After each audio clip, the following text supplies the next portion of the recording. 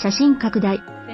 野球 U18 ワット杯最終日、8日、現代社ドリームボールパーク本職の投手として4試合に登板し、2勝無敗、防御率1.35の好成績を残した日誌、創志学園3年が、最多本塁打2本、5人で表彰された。世界の舞台で投打に活躍した右腕は、嬉しいより驚き、貴重な経験になったとにっこり。今週のドラフト候補として名前が挙がっているが、進路については、いろいろな人の意見を聞きながら自分にとって一番いい選択ができるように、ゆっくり考えたいと慎重にしています。